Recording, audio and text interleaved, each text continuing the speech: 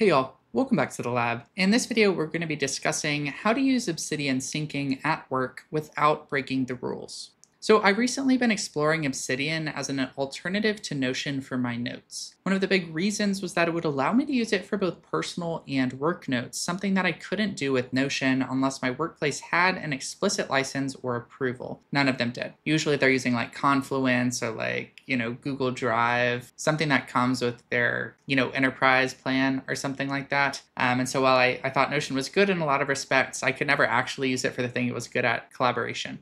And let's be honest, the like default Google Drive note-taking stuff kind of sucks.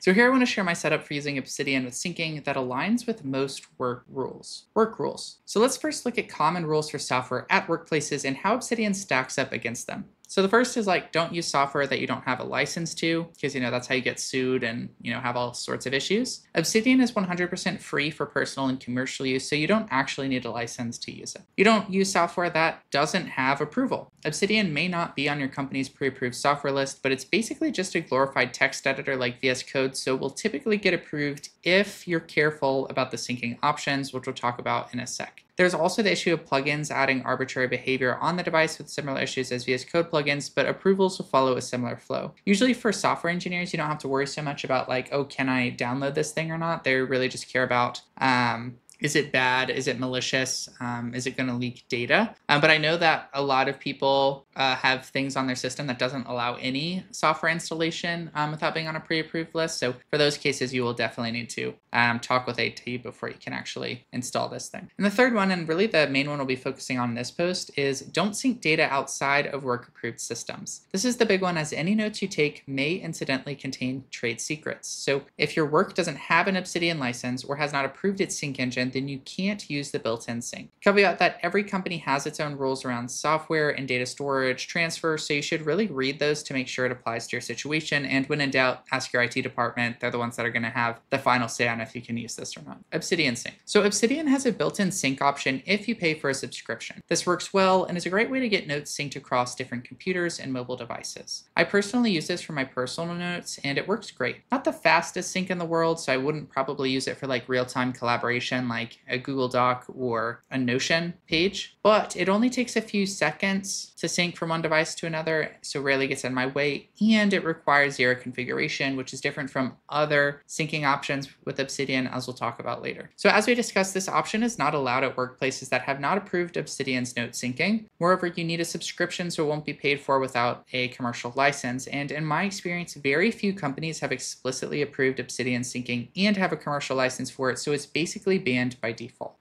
But remember, Obsidian is basically just a text editor on Markdown files for better and worse. So we can implement syncing on our files without breaking any of our IT rules. So now let's talk about work compliance syncing. In most cases, local files on your work approved device is okay. It's a bit muddier if there's a bring your own device policy as they typically require all work data to stay inside of work tools or only be accessed via VM or something, so be sure to read the policies on that. But if local is okay, then you can back up your folders using whatever file storage system that your work licenses. Most of the big players have an ability to back up local files and folders to the cloud, effectively building your own file sync engine. So common examples of this are like Google Drive, Microsoft OneDrive, Apple iCloud, Box, Dropbox, there's plenty of others. Um, and they usually will have an app and you can point it at a folder on your system and it will just sync whatever's in that folder. And what we're really trying to achieve here with sync is that you can access it from different computers. If your computer is lost or stolen or breaks, the data is corrupted, you can re-access that stuff so your work isn't blocked. Um, and so by using these tools, you get the ability to sync to a pre-approved system. It never leaves the work enterprise licenses or tools or whatever, but you still get to use Obsidian and get all the power of a local first note taking app um, as well. Here's what it looks like, and it's kind of my Obsidian setup at work. So we use Google Drive, um, and so I basically have a, a work vault um, that will sync up to Google Drive using its app. I don't really need to sync it to any other computer, so I don't really need to worry about that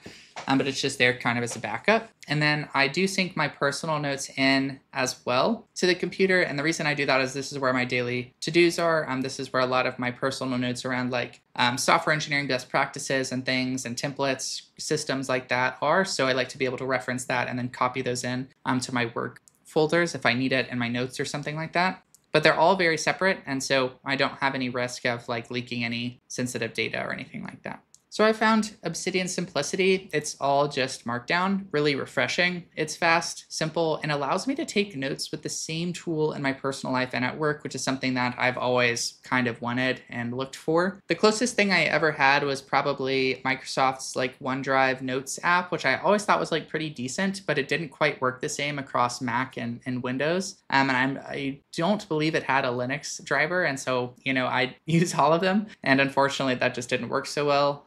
Notion works really well because it's all just a website. But again, if your work doesn't license it, then you absolutely cannot use it because that syncs directly to their database, which totally breaks all the rules. Um, and then so you end up having to use whatever it is, which is Confluence, which honestly isn't that bad in my opinion, or Google Docs, which is just a bit clunky in my opinion and, and not something that I really love to use. So that's why I sync. Hopefully it helps you sync as well. If you like this post, you might also like why I'm moving my personal notes from Notion to Obsidian as a software engineer. You might also be interested in how I run my project backlogs with Trello. And finally, my simple daily to-do list as a software engineer, maximizing productivity and minimizing waste. That's it for this video. Thanks for watching, and I'll see you in the next one.